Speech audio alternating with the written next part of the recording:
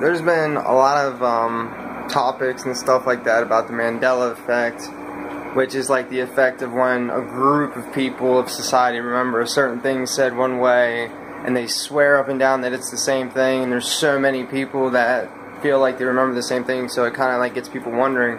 And uh, one of the topics that I've heard was it was on like Forrest Gump, Tom Hanks film, is when he's sitting on the bench and everybody, and even I personally remember the quote saying, Life is like a box of chocolates, you never know what you're going to get. And it even says it on the case, on the back right here, on the DVD case. Life is like a box of chocolate, you never know what you're going to get. So it's like, you know, I could have sworn that's what he says, but I put the DVD in right now, and uh, let me turn this AC off just to prove that it does. He does say was, so I don't know if maybe it was a typo on the back of the DVD. And my friend actually has a VHS tape, and it has the same thing on the back of it. it says is, but here's the video clip I want to show you. My name's Forrest, Forrest Gump.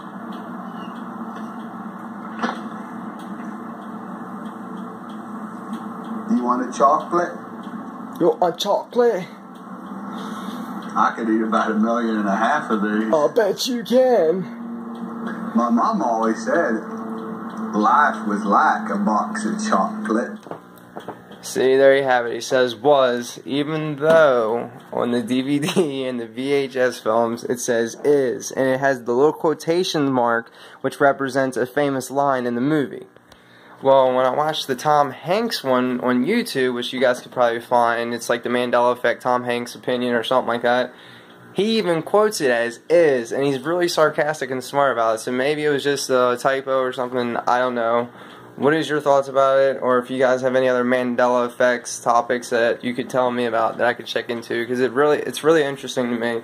So you guys take care and have a good one.